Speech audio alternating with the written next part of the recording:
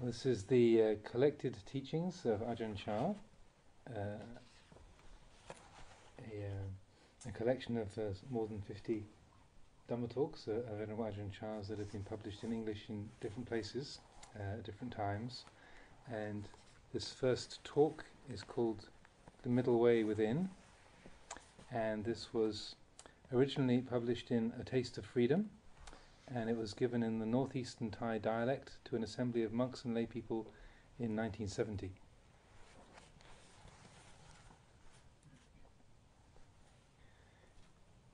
The teaching of Buddhism is about giving up evil and practicing good. Then, when evil is given up and goodness is established, we must let go of both good and evil.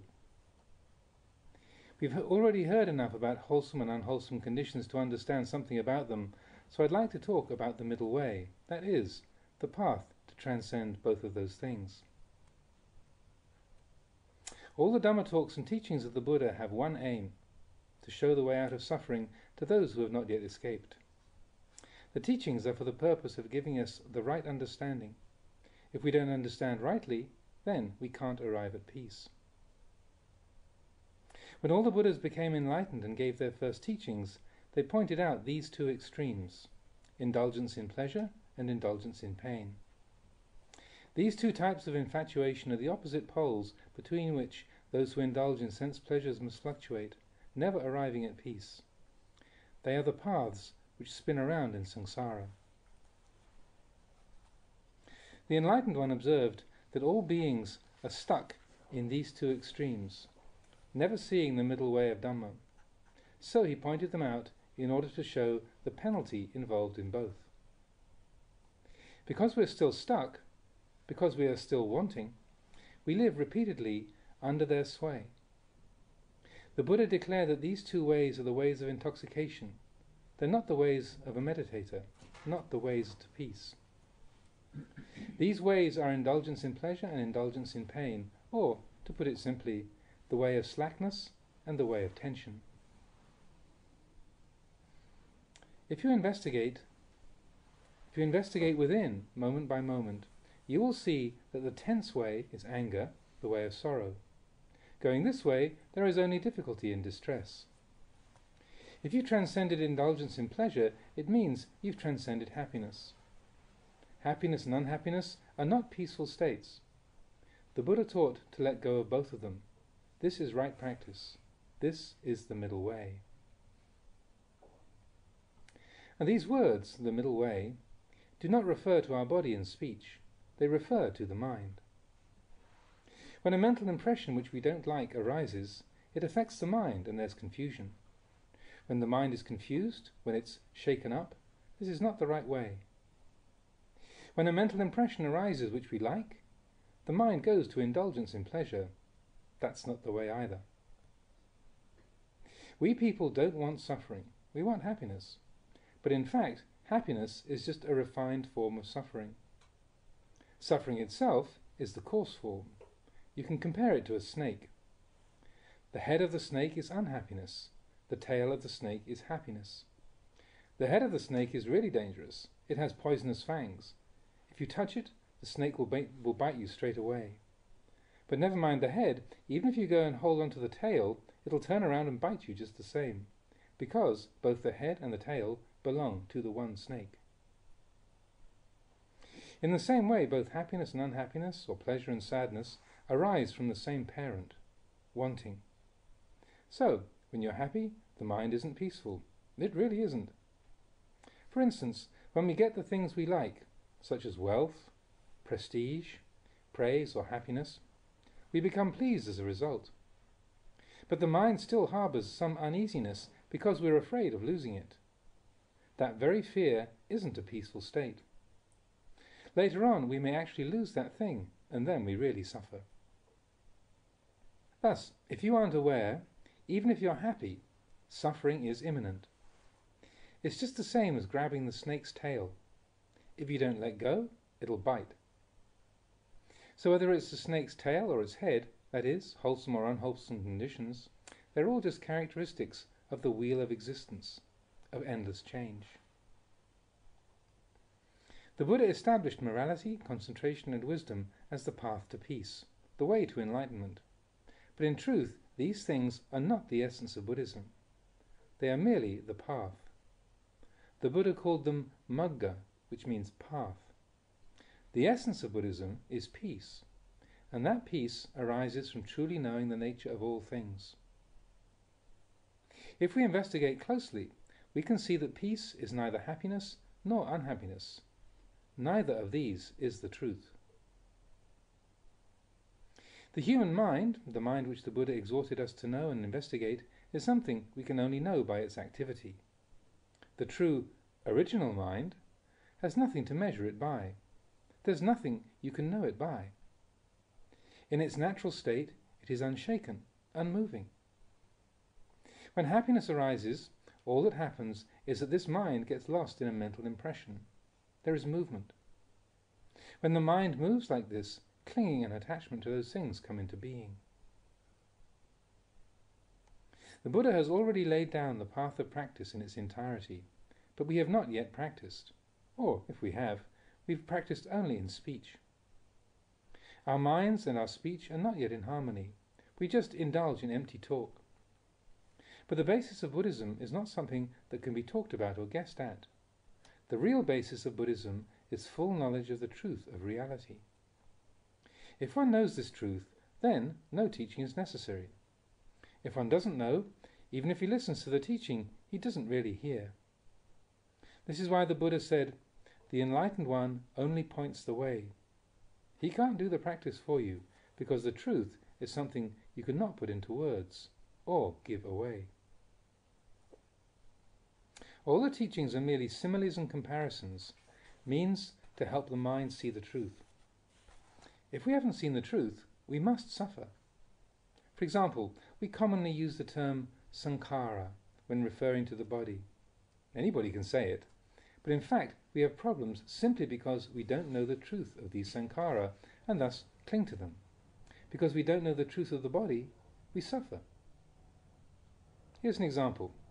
Suppose one morning you're walking to work and a man yells abuse and insults at you from across the street. As soon as you hear this abuse, your mind changes from its usual state. You don't feel so good. You feel angry and hurt. That man walks around abusing you night and day. Whenever you hear the abuse, you get angry. And even when you return home, you're still angry because you feel vindictive. You want to get even. A few days later, another man comes to your house and calls out, Hey, that man who abused you the other day, he's mad. He's crazy. Has been for years. He abuses everybody like that. Nobody takes any notice of anything he says. As soon as you hear this, you're suddenly relieved. That anger and hurt that you've pent up within you all these days melts away completely. Why? Because you know the truth of the matter now. Before, you didn't know. You thought that man was normal, so you were angry at him. Thinking like that has caused you to suffer. As soon as you find out the truth, everything changes. Oh, he's mad. That explains everything. When you understand this, you feel fine because you know for yourself. Having known, then you can let go. If you don't know the truth, you cling right there. When you thought that man who abused you was normal, you could have killed him. But when you find out the truth, that he's mad, you feel much better. This is knowledge of the truth. Someone who sees the Dhamma has a similar experience. When attachment, aversion, and delusion disappear, they disappear in the same way. As long as we don't know these things, we think, What can I do? I've so much greed and aversion. This is not clear knowledge. It's just the same as when we thought the madman was sane. When we finally see that he was mad all along, we are relieved of worry. No one could show you this. Only when the mind sees for itself can it uproot and relinquish attachment. It's the same with this body, which we call sankhara. Although the Buddha has already explained that the body is not substantial or a real being as such, we still don't agree. We stubbornly cling to it. If the body could talk, it would be telling us all day long, You're not my owner, you know. Actually, it's telling us all the time, but it's Dhamma language, so we're unable to understand it. For instance, the sense organs of eye, ear, nose, tongue, and body are continually changing, but I've never seen them ask permission from us, even once. Like when we have a headache or a stomach ache, the body never asks permission first. It just goes right ahead, following its natural course. This shows that the body doesn't allow anyone to be its owner. It doesn't have an owner. The Buddha described it as an object void of substance. We don't understand the Dhamma, and so we don't understand these sankhara. We take them to be ourselves, as belonging to us, or belonging to others. This gives rise to clinging. When clinging arises, becoming follows. Once becoming arises, then there's birth. Once there's birth, then old age, sickness, death, the whole mass of suffering arises. This is the paticca samuppada, we say ignorance gives rise to volitional activities. They give rise to consciousness and so on. All these things are simply events in the mind. When we come into contact with something we don't like, if we don't have mindfulness, ignorance is there. Suffering arises straight away. But the mind passes through these changes so rapidly that we can't keep up with them. It's the same as when you fall from a tree. Before you know it, thud, you've hit the ground. Actually, you've passed many branches and twigs on the way, but you couldn't count them. You couldn't remember them as you passed. You just fall and then thud. The paticca samuppada, dependent co-arising or dependent origination, the description of the arising and ceasing of the five khandhas, it is the same as this. If we divide it up as it is in the scriptures, we say ignorance gives rise to volitional activities. Volitional activities give rise to consciousness. Consciousness gives rise to mind and matter. Mind and matter give rise to the six sense bases. The sense bases give rise to sense contact. Contact gives rise to feeling. Feeling gives rise to wanting. Wanting gives rise to clinging. Clinging gives rise to becoming. Becoming gives rise to birth. Birth gives rise to old age, sickness, death, and all forms of sorrow. But, in truth, when you come into contact with something you don't like, there's immediate suffering. That feeling of suffering is actually the result of the whole chain of the paticca. This is why the Buddha exhorted his disciples to investigate and know fully their own minds. When people are born into the world, they are without names. Once born, we name them. This is convention. We give people names for the sake of convenience, to call each other by. The scriptures are the same. We separate everything with labels to make studying the reality convenient. In the same way, all things are simply sankhara. Their original nature is merely that of compounded things.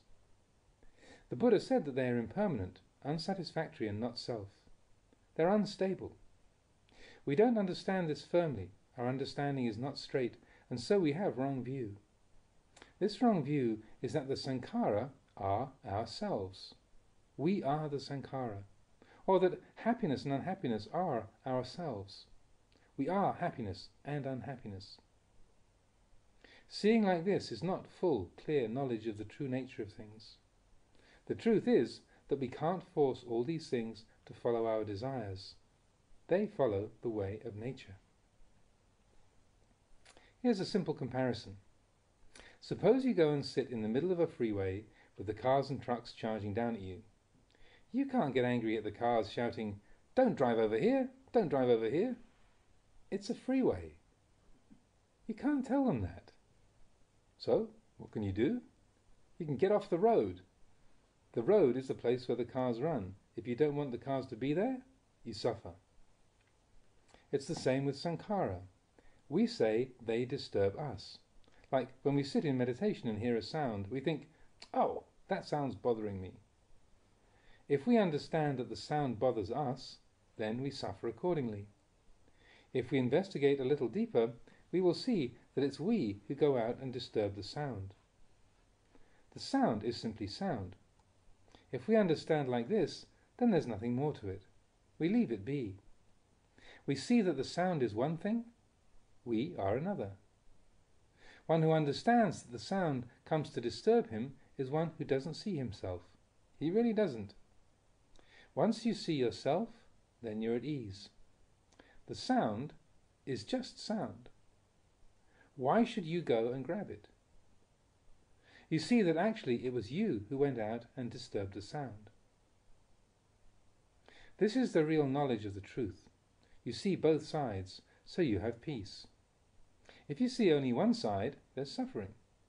Once you see both sides, then you follow the middle way. This is the right practice of the mind. This is what we call straightening out our understanding. In the same way, the nature of all sankhara is impermanence and death, but we want to grab them. We carry them about and covet them. We want them to be true. We want to find truth within the things that aren't true. Whenever someone sees like this and clings to the sankhara as being himself, he suffers. The practice of Dhamma is not dependent on being a monk, a novice, or a layman. It depends on straightening out your understanding. If our understanding is correct, we arrive at peace. Whether you are ordained or not, it's the same. Every person has a chance to practice Dhamma, to contemplate it. We all contemplate the same thing. If you attain peace, it's all the same peace. It's the same path with the same methods. Therefore, the Buddha didn't discriminate between laymen and monks. He taught all people to practice in order to know the truth of the sankhara. When we know this truth, we let them go. If we know the truth, there'll be no more becoming or birth. How is there no more birth? There's no way for birth to take place because we fully know the truth of sankhara. If we fully know the truth, then there's peace. Having or not having, it's all the same. Gain and loss are one. The Buddha taught us to know this. This is peace. Peace from happiness, unhappiness, gladness, and sorrow. We must see that there is no reason to be born. Born in what way? Born into gladness. When we get something that we like, we're glad over it. If there's no clinging to that gladness, there's no birth. If there is clinging, this is called birth. So, if we get something, we aren't born into gladness. If we lose something, we aren't born into sorrow. This is the birthless and the deathless. Birth and death are both founded in clinging to and cherishing the sankhara.